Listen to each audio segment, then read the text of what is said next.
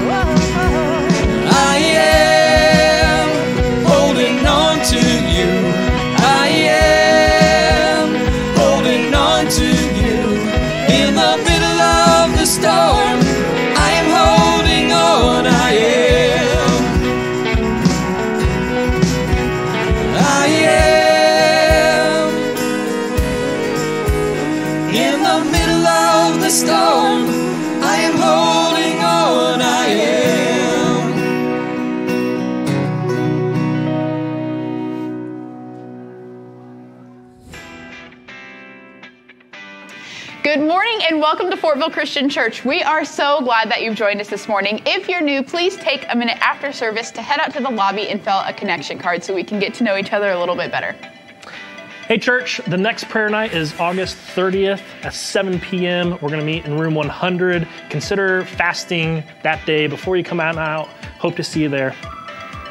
And next week, Sunday, August 21st, we will have our child dedication. So if you're interested in any more information about that, please email me at emma.flick at fortvillechristian.com before tomorrow. If you enjoy driving, drive on over on Thursday for the blood drive. Consider giving blood. Uh, sign up at versiti.org or ask one of us if you have any other questions. Yep, and Harvest of Talents will be September 10th this year, so it's coming up. If you are doing any crafts to donate, please leave those back in the coat closet. And this week out in the lobby, there is a table where you can sign up to volunteer for the event. And we've got one more announcement from Women's Ministry.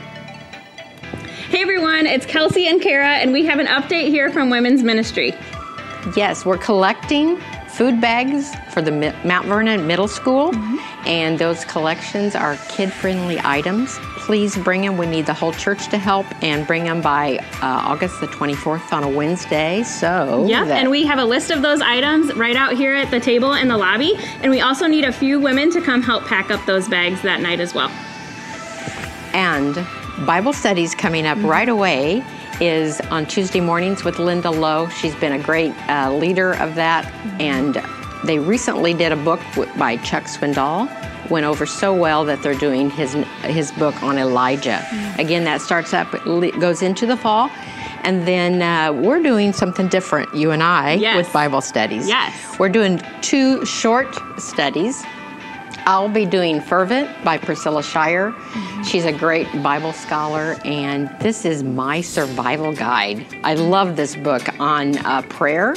She has biblical, uh, lots of stories and lots of biblical uh, scriptures for us to use, and it really helps fight off Satan in our daily lives, whatever it may be. Yep, and then I'm going to be doing one in November on the Find Your People book that we talked about at If Gathering by Jennie Allen. So we're going to have sign-ups for those soon. Go ahead and grab those copies of the books if you're interested and start reading them now. And we also have other fun things to do. Yes. Like craft nights, and think there's something big. Yes, in there's a chili cook-off that we're doing. The women's ministry is helping host that, but it's a church-wide event. So we're going to have sign-ups coming soon for that. So stay on the lookout for all those fun things. And we have a calendar of events out here in the lobby, and it's being finalized as we speak. All right, let's go ahead and stand as we're able and worship our God.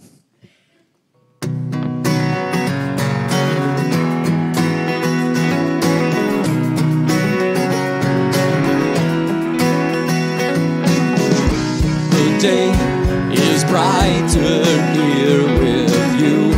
The night is lighter than is you. Would lead me to believe which leads me to believe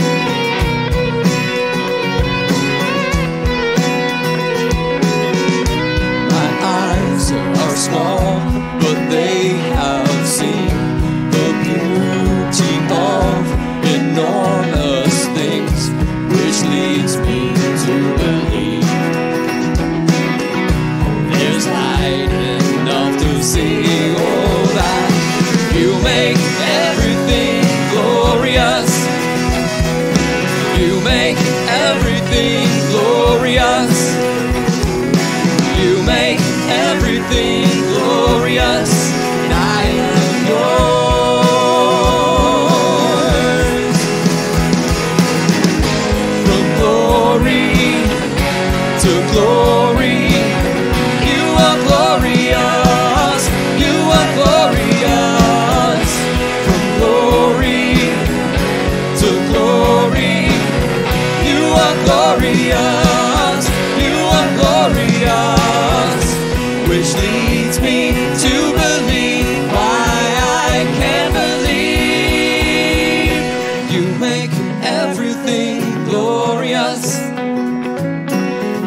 Make everything glorious. You make everything glorious.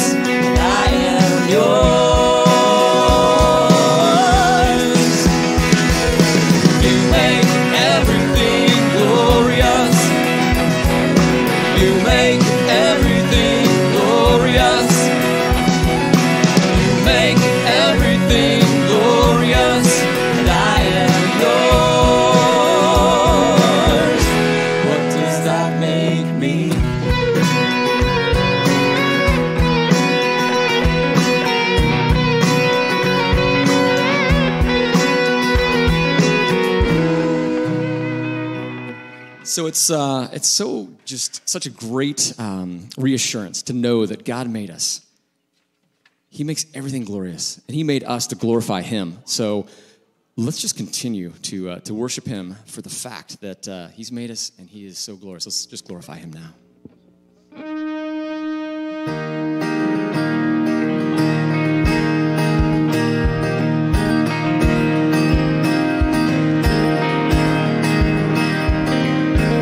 Saturday was silent, surely it was through. But since when, as impossible, it was stopped you.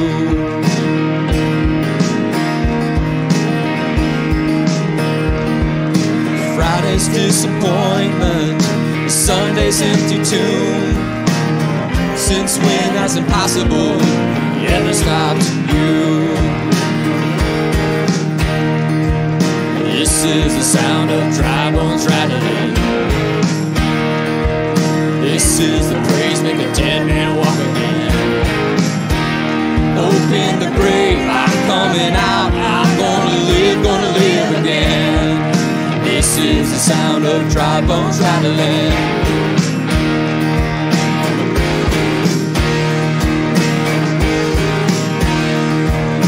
Pentecostal fire, stirring something new. You're not gonna run out of miracles anytime soon. Your resurrection power runs in my veins too. I believe there's another miracle here in this room. This is the sound of dry bones rattling. This is the praise make dead man walk again. Open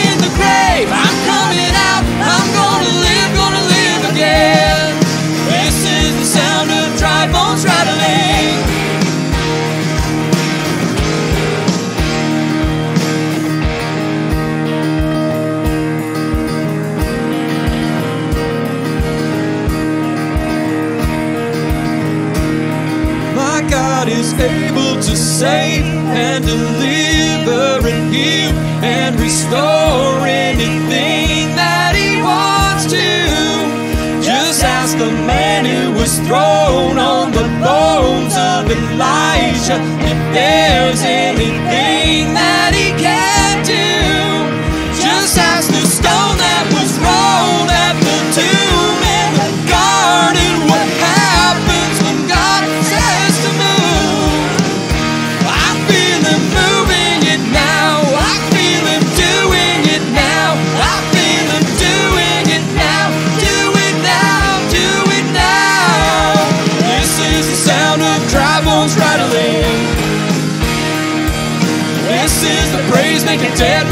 again.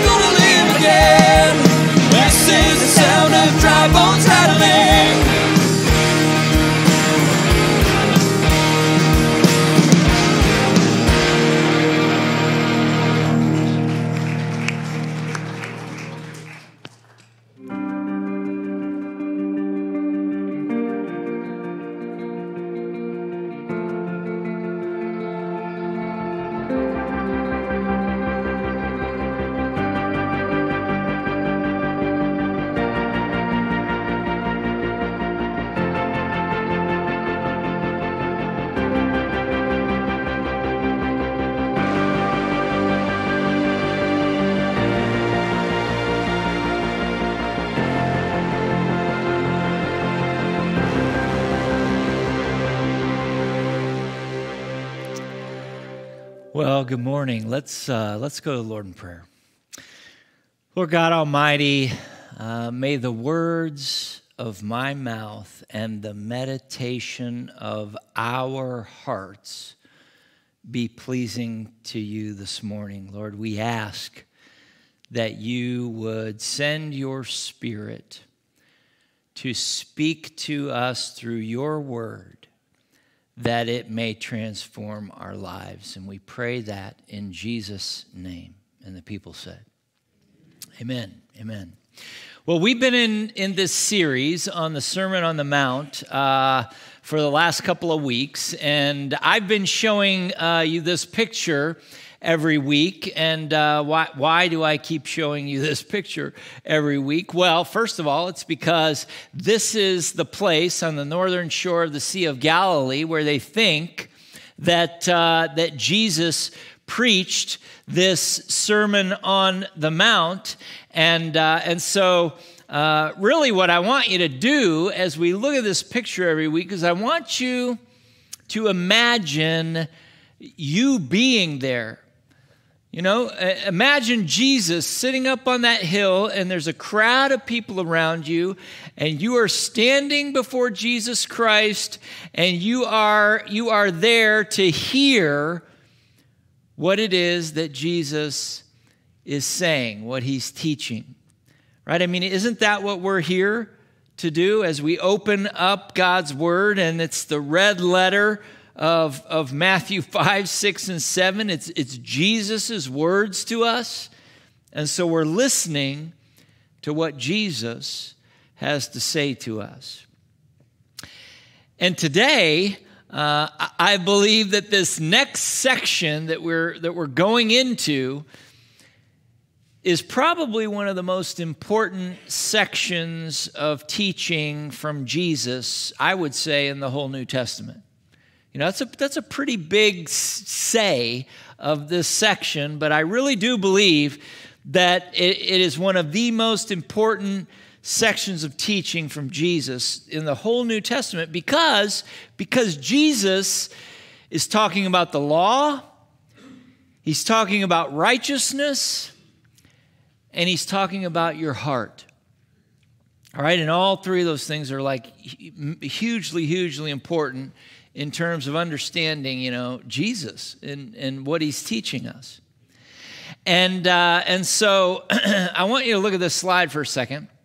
Uh, I put this together to, um, to show you how this section of Scripture is laid out. I think uh, as we talk through this for a minute, you will much better understand, I, I believe, what Jesus is trying to do in this section of, of Scripture. Okay, we're going into uh, this, this portion of Matthew chapter 5, you know, uh, and, and, and Jesus bookends six statements about the law. That's what one, two, three, four, five, six. It's almost like, you know, little volumes. He's got six statements about the law, and he bookends it with verse 20 of chapter 5 and verse 48. So let's just read verse 20. It says, and Jesus is talking about, let's, let's go back to that bookend slide. I'm sorry.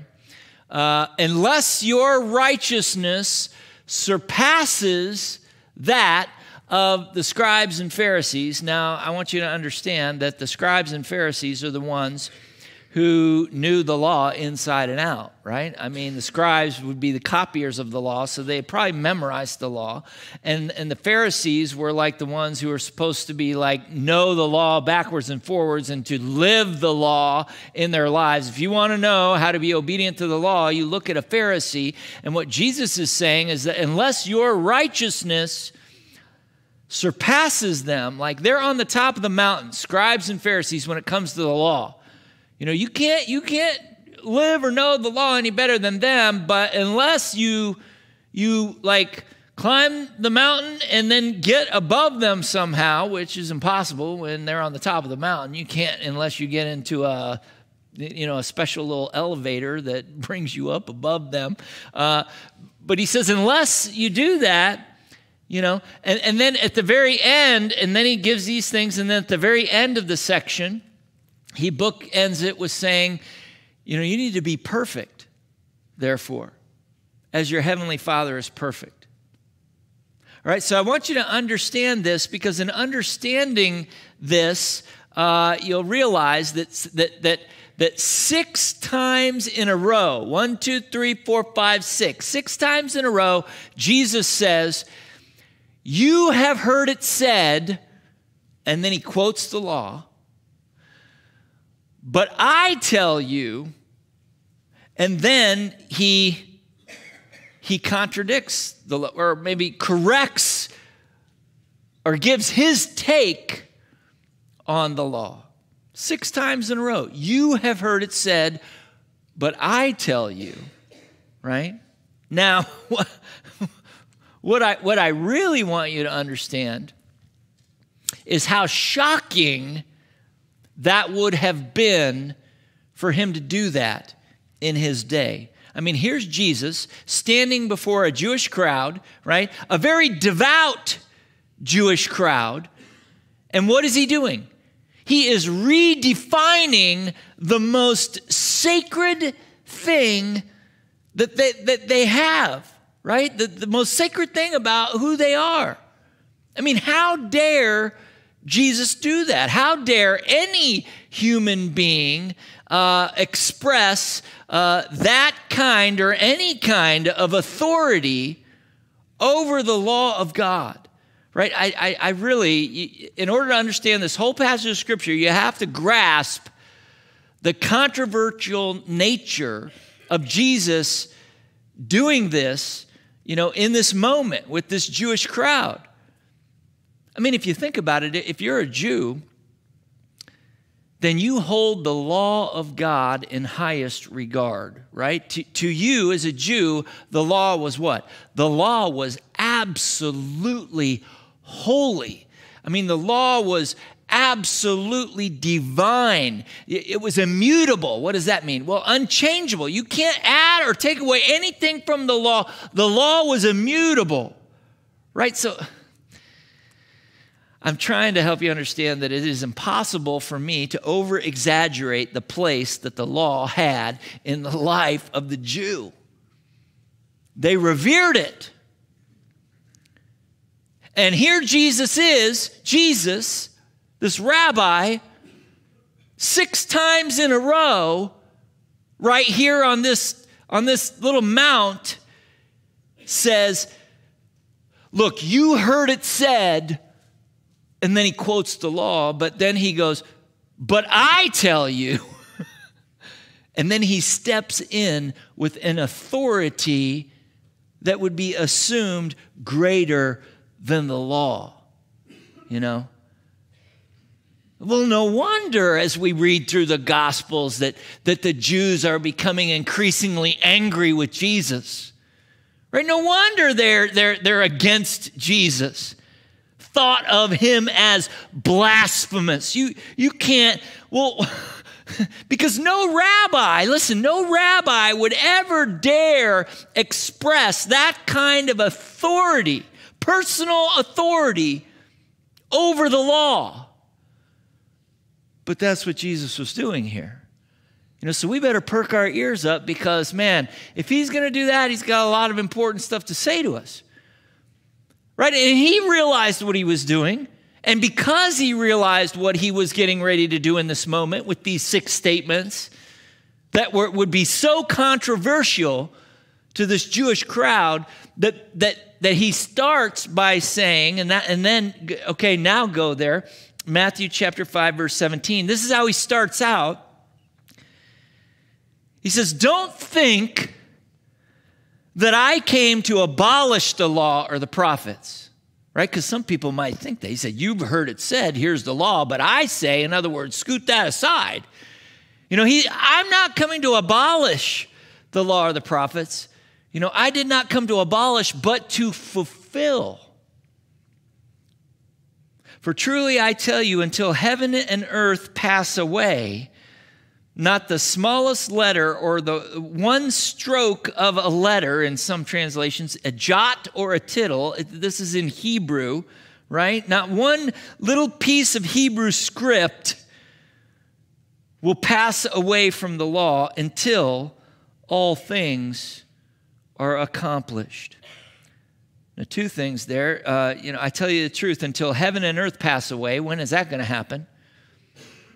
Well, I guess it's going to happen when all things are accomplished, although, you know, in him saying, you know, the, the, the, law won't pass away until all things are accomplished. When, when are all things going to be accomplished? Some people disagree in terms of when on the timeline of God's recreation of sinful human nature that is going to happen. Some believe it was the death, burial, and resurrection of Jesus Christ. That is when all things were accomplished.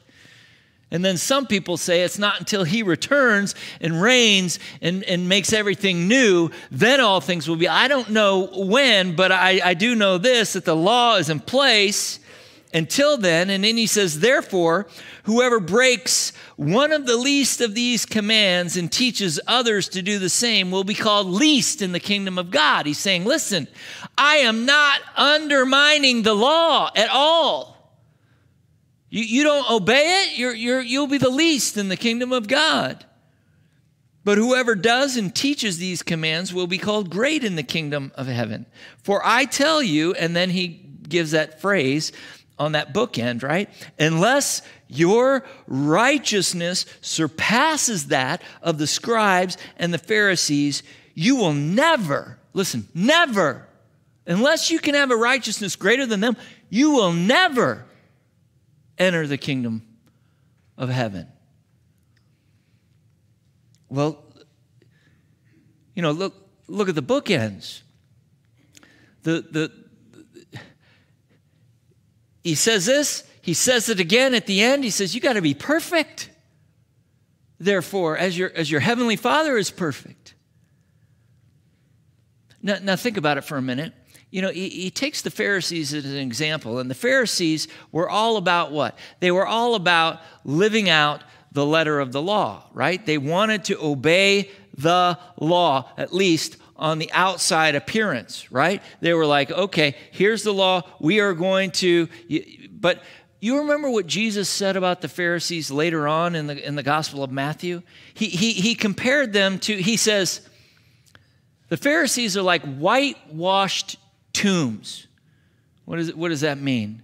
You know, a tomb is, is something that, what is inside of a tomb? I'll tell you what's inside of a tomb. It's, uh, it may look beautiful on the outside if you paint it and make it real nice, but on the inside of it, there's nothing but rotten flesh and, and bones and decomposing stuff and everything that's dead and everything that's unclean, you know? So you got all that inside, but boy, on the outside, you can whitewash it, make it look really great, right? But on the inside, it can be full of hypocrisy, it can be full of wickedness, all of this. That, that this, is, this is what Jesus is trying to point out when he is taking the law, these six volumes, these six statements about the law, and giving them as examples, right? He, he's trying to say, look, you can, you can appear as if you have followed the law to a T on the outside, and you can be as rotten as all get out on the inside. Volume one, this is, this is the headings in my Bible. Volume one is murder begins in the heart. All right, in other words, it runs deeper within. It's just not shoving a knife in somebody's heart. You cannot even do that and yet still have murdered somebody right here in your heart. Or uh, the next one, adultery begins in the heart. Jesus is going underneath the external obedience of the law and he is starting to talk about the heart. Now, we do not have uh, the time necessary uh, today to, to explore all six of these volumes. And so, what we're going to do with the time left that we have today, we're going to look at the first three. And then next week, we're going to come back and we're going to pick up where we left off and we're going to look at the, the, the last three of these bookends. All right, you with me? So let's look at the first one. First one starts in verse 21. Jesus says, You have heard that it was said to our ancestors, he's talking about the law, do not murder, right? That's what? Commandment number six out of the Ten Commandments. You know, that's, that's the law. You, you, you do not murder. And whoever murders will be subject to judgment. But I tell you, that everyone who is angry with his brother or sister will be subject to judgment. So, so Jesus, right there, says it's not about the act of ending somebody's life. You know, that's not what the law, you know, the, that's what the law says, but really, what is the heart of the law? The heart is look, even when you're angry with somebody, which anger and hate towards somebody then leads you to want to eliminate them from the, the planet Earth, right? You just say, they're not worthy to be living. I want to. And remember, God is the only one who has, uh, you know, he gives life and he takes it away. He's the only authority over life. That li- God gives life and God takes it away. And when we murder somebody, what do we do? We stand in the place of God and we say, No, I'm going to get to decide. I don't think you ever should have been living, and I am going to take your life.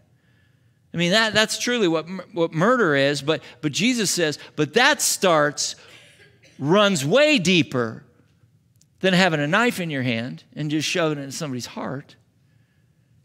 He said, You got to look on the, the inside. And he continues and he says, Look, whoever insults his brother or sister, just an insult, right, will be subject to court. What does he mean by that? He's like, you're going to be judged. You, there's a judgment when you have anger and hatred towards your, your brother. If you are insulting, you know, a person, then in court, we're going to decide, you know, whether you're guilty or not.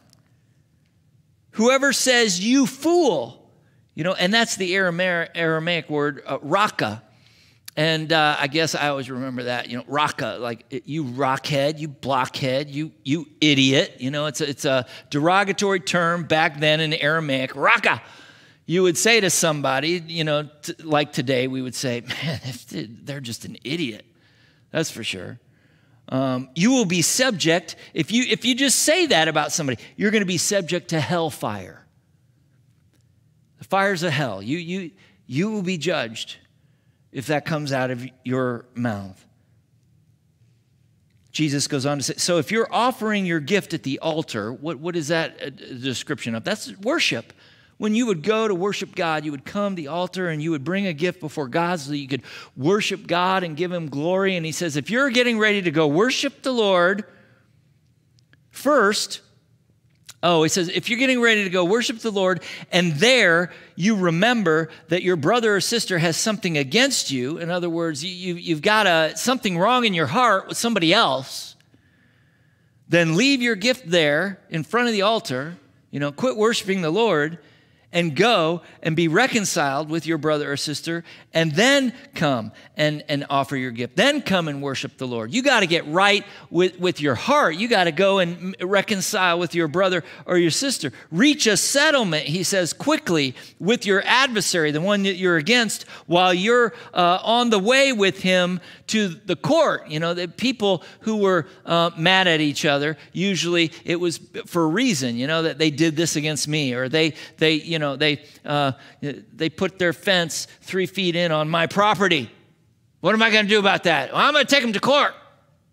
You know? So on your way to court, it's like on your way to court, before you get judged for how you feel about this person, you better remedy your heart.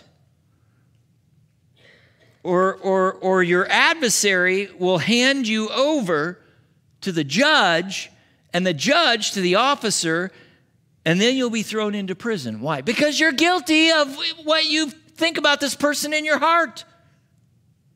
Truly, I tell you, you will never get out of there until you have paid the last penny. You're guilty, and there'll be no mercy for this. That's why you're not going to get out of punishment until the last penny is paid, right? And and and I'm just this is this is crazy. You know that that the attitude of your heart, how you really feel about people, you know, it runs much deeper than, you know, the law. Okay, I can say, I can honestly say to you right now, I've never murdered anybody.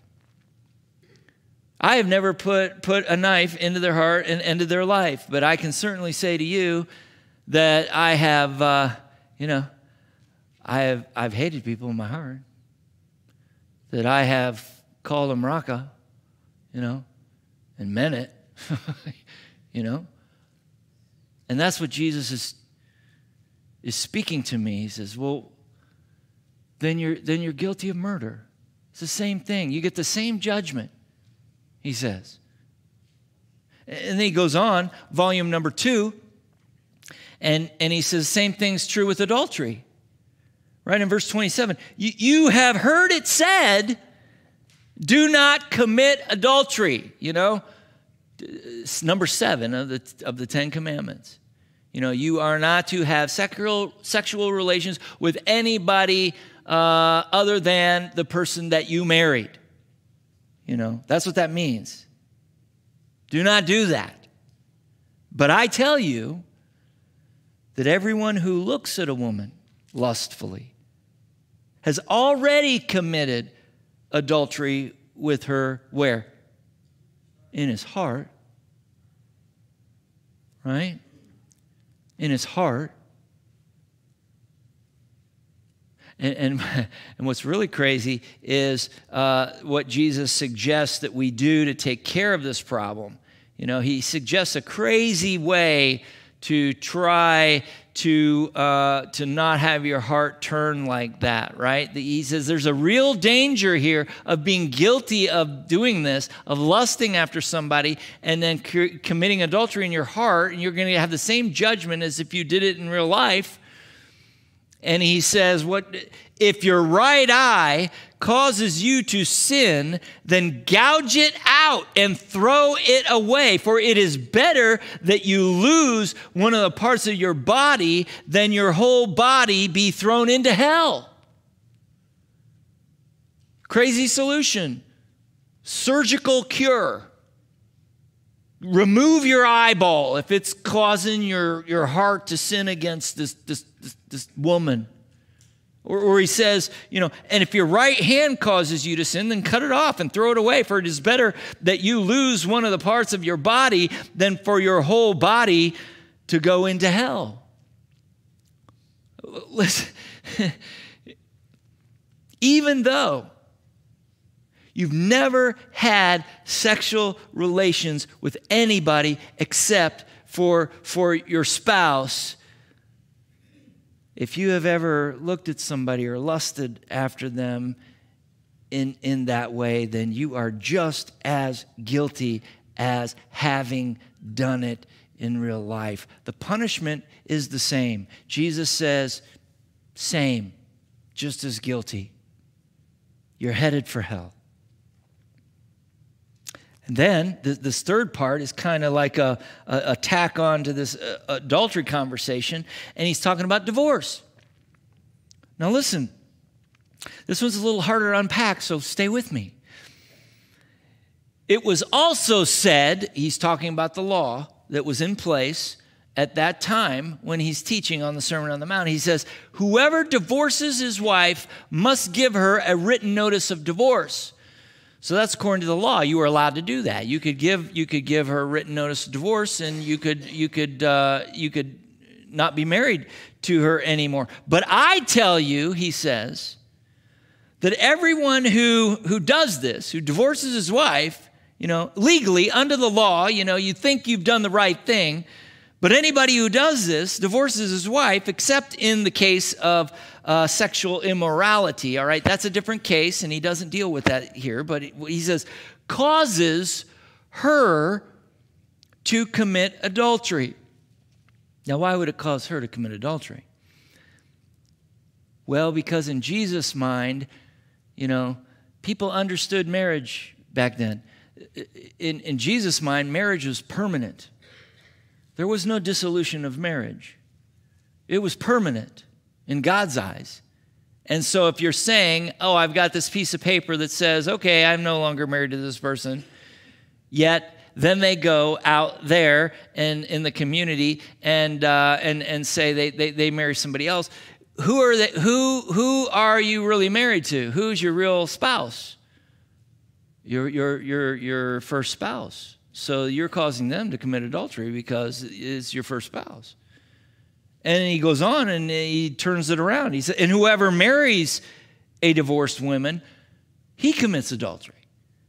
Why? Because that person's married to somebody else. There's a permanence there. I think that that's the point. That not that you know, it's not about divorce. It's about the permanence of marriage in the eyes of God. He's saying you are you you think you're obeying the law, you think you're doing right before you can stand righteous before God because you gave this certificate of marriage and and really no, that's not how God sees it. And then believe it or not, later on in the Gospel of Matthew chapter 19, he really unpacks this jesus does. And that's what, that's what i want to do for a minute is i want to go over there. In, in, in matthew 19 jesus says this you know, red letter. He says, Moses permitted you to divorce your wives because of hardness of, of your heart. You know, so th- this started uh, this, this certificate of divorce started back in Moses' day when, when Moses finally threw up his hands and he said, Fine, you know, if, if you are so hard in your heart that fine, go ahead and do that. You know, and he made it legal in the Jewish culture to do that. But just because Moses permitted you to do that in the hardness of your heart, Jesus says, but it was not like that from the beginning. Let's go back to the beginning. And then he quotes this exact same phrase as he does in the Sermon on the Mount. He says, I tell you, whoever divorces his wife except for sexual immorality and marries another commits adultery. Help me understand this, Jesus. He goes on and he says, Haven't you read? He goes back to the beginning. Haven't you read that God, who created them in the beginning, male and female, also said, For this reason, a man will leave his father and mother and be joined to his wife, and the two will what? Become one flesh. And then it says, Therefore, what God has joined together, let no one separate. There's a permanence in the bond of marriage. As a matter of fact, you know, Jesus is quoting from Genesis, obviously, when, you know, in the Garden of Eden, what, what did God conclude back then? Do you, do you remember? He concluded that it was not good for man to be alone. And so he created woman, a marriage partner for, for, for, for Adam. And, and, and, and for God, I mean, in the eyes of God, marriage was much more than just a sexual union. It was much more than just a joint housekeeping venture. For God, marriage was much more than just a mechanism for having children. So, in God's eyes, what is marriage? Marriage is the holy uniting of two persons into one flesh, each completing the other.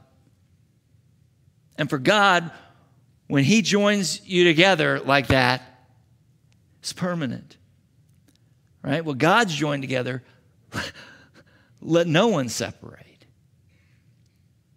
And I really believe that what Jesus was emphatically saying to this crowd when he is bringing up this, this, you know, this, this law that, okay, you can give him this certificate of, of divorce, you know, is that you, you are misunderstanding marriage. You are misunderstanding the law. You are like treating your wives as property. And back then, that, that, that was very true. The, Jew, the Jews treated, you know, uh, uh, women as property that okay you know i can i can you know i can take it or leave it. Doesn't matter. I can get a certificate of divorce and and, and divorce her. But listen in that society you have to realize that when you would do that as a jewish man to to to to your wife and you would give her that certificate of divorce she would be you know no longer married to you.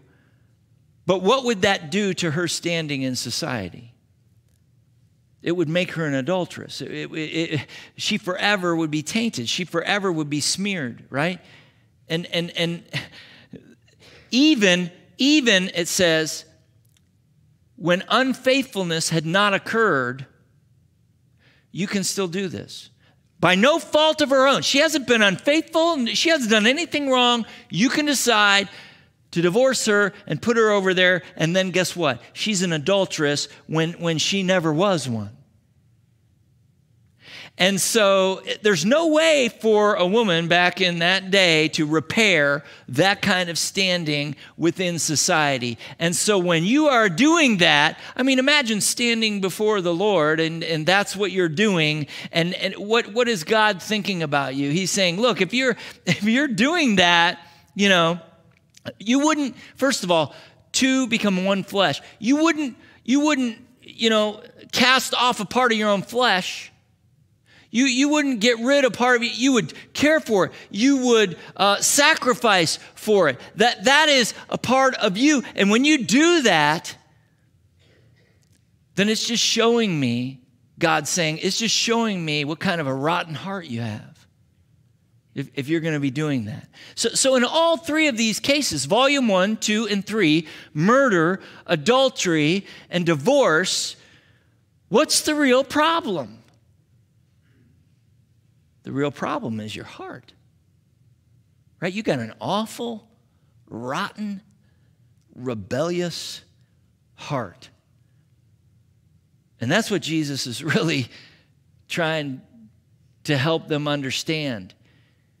Because a lot of them probably thought just the opposite. Oh, yeah, we, do, we obey the law. We're, we're, yeah, we are very, we're righteous people. We're doing the right thing. No, no. The biggest problem you have is your heart. And you can't fix your, your heart. What's the only solution to fix your heart? Only God can fix your heart. Only Jesus. Right? Isn't that why Jesus was sent down from heaven? I mean, isn't that what he came to do? That he was sent by God to what? To become your righteousness. Now, listen to that. That, God sent Jesus so that he might become your righteousness. That's where they misunderstood the law right? Because what, what did they believe the purpose of the law was? You know, what, what, is, the, what is the purpose of the law?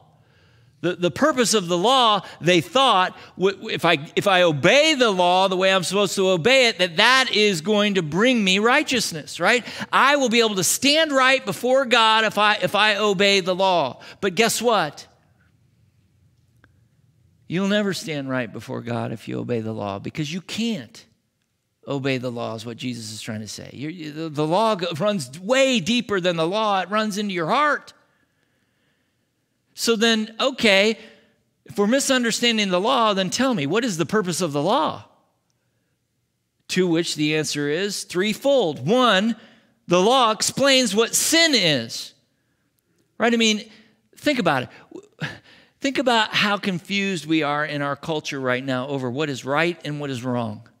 You know, you ask anybody about a particular subject and say, is this right or is this wrong? And, and how do you come to this framework? We are so confused about what is really right and what is really wrong. Why? Because we are fallen creatures. We are in our sinful nature, our fleshly nature. How is it then? It's not as easy to, to understand what's right and wrong as easy as we think it is because we're, we're corrupted. You know, it's like a, trying to get the real file from a corrupted file. You can't, it's corrupted. So it doesn't come naturally to us because we're in the flesh. And so the law was given to us so that we might learn from who? From God.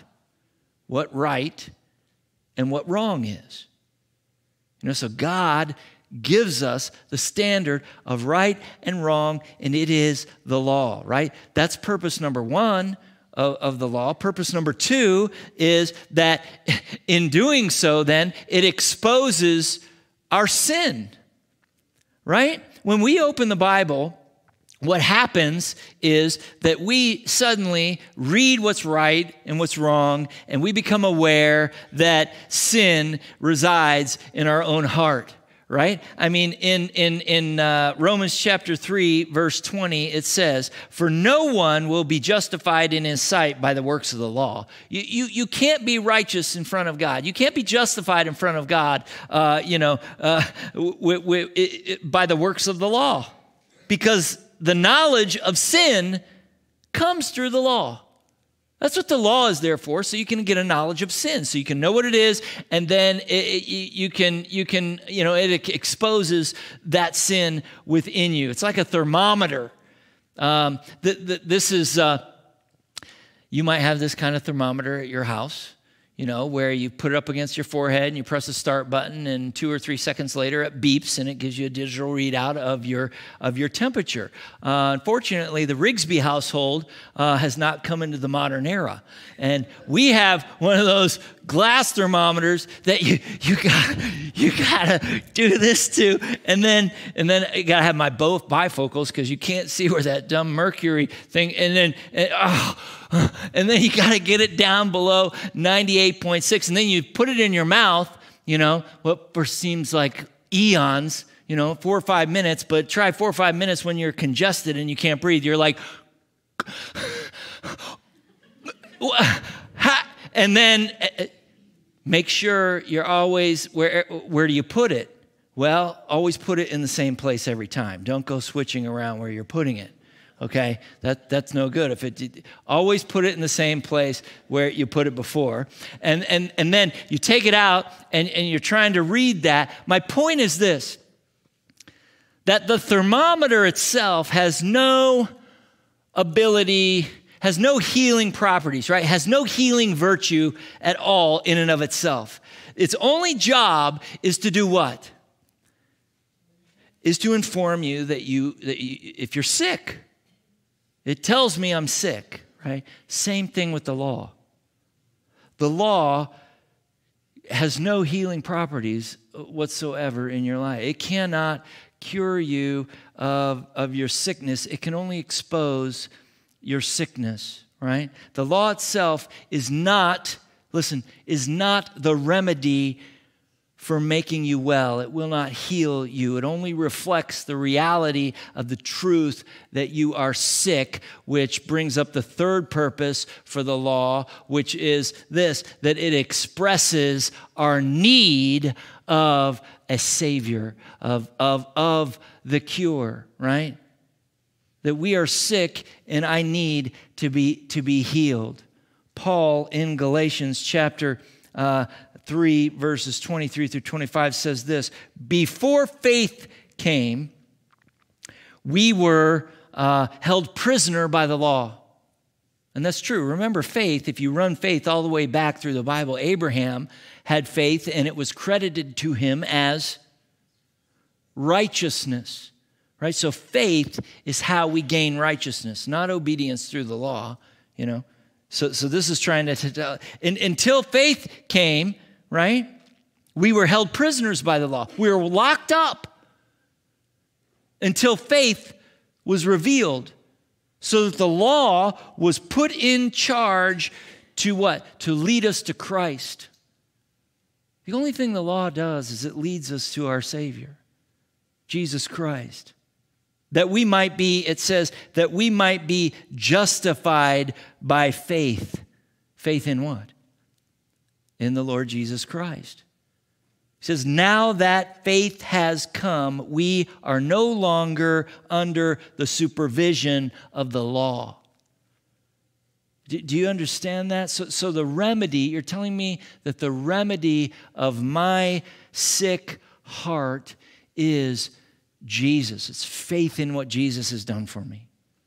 Right? Jesus is my cure.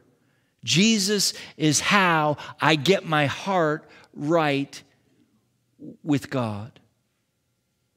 Go, go back to the bookends for a minute. Okay, so full circle, this is where we're at, right?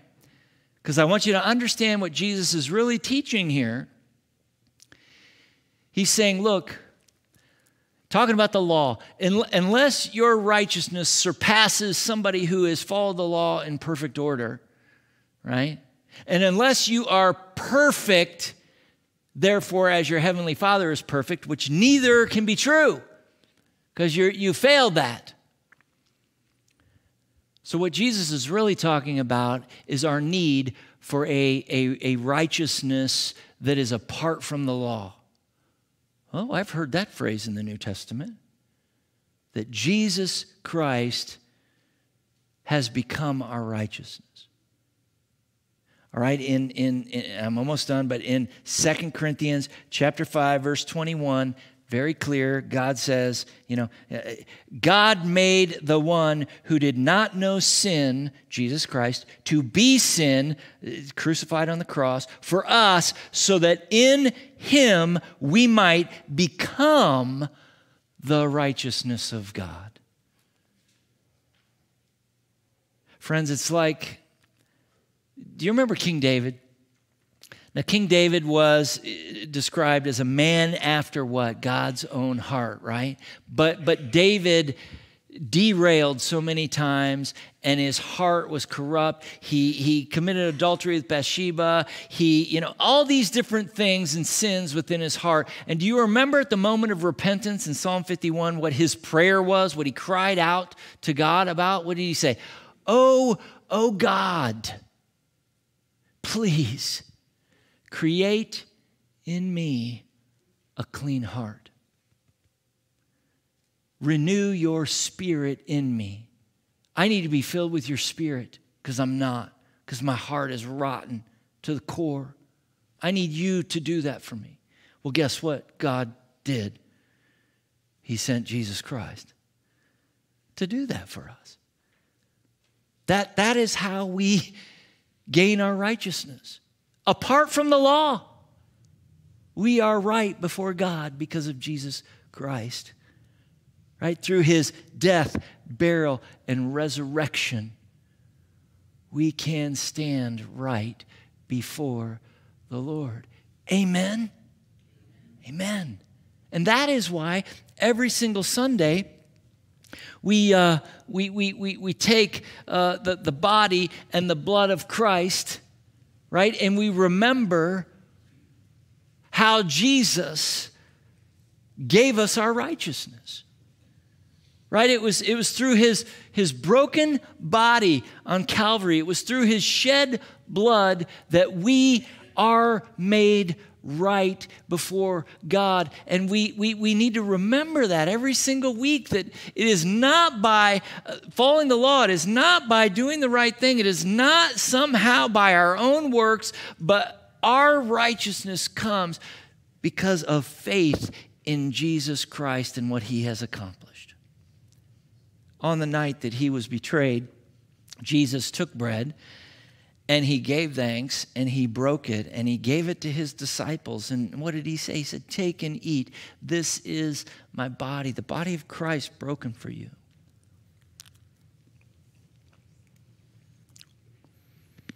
And then he took the cup and he gave thanks and he offered it to them all, saying, Drink of it, all, of you.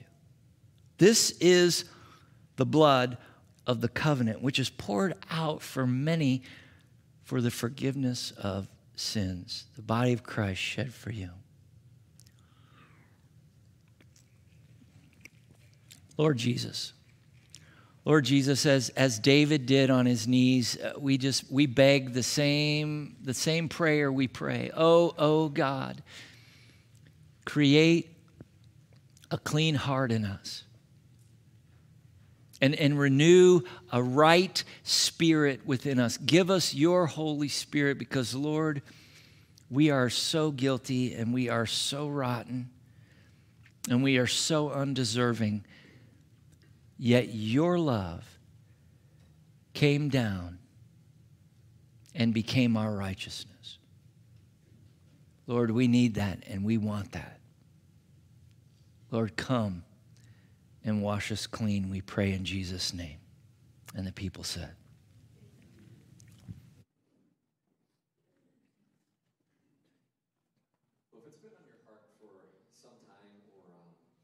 just for the first time this morning about getting baptized, um, that can happen today.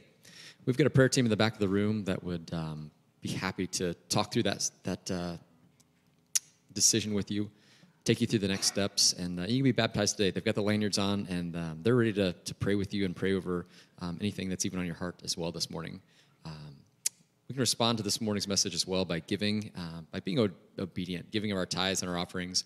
The black boxes are in, in, the back of the room. We've got the FCC app on smartphones we can give, um, and then fortvillechristian.com you can give there as well.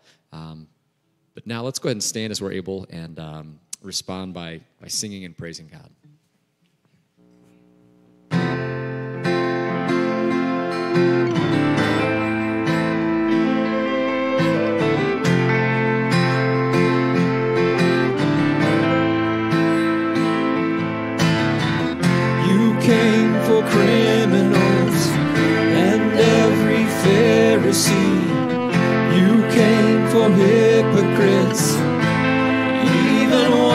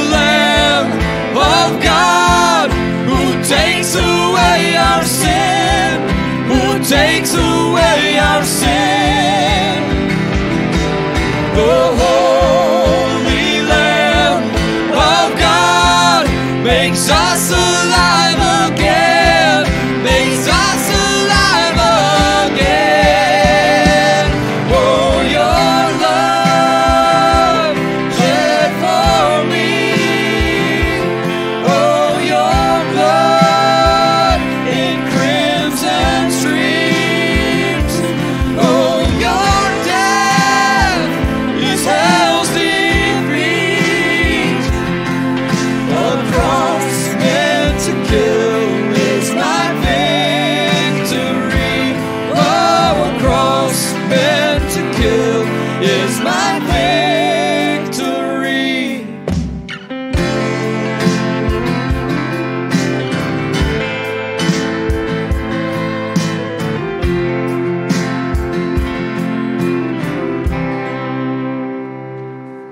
That is just such a powerful visual. That cross that Jesus took for us, the death that atoned for our sins, the death that makes us clean. Let's just um, just confess the fact that He is the one true God. Only God could do that, and He's our God. Let's worship Him now.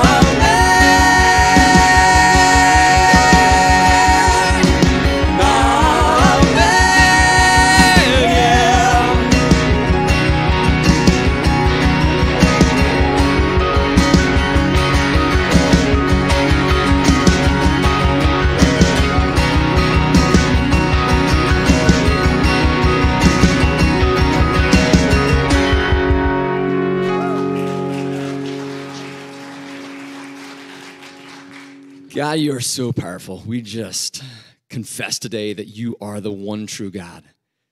We bring our hearts to you this morning. We offer our praise because there's no other God like you.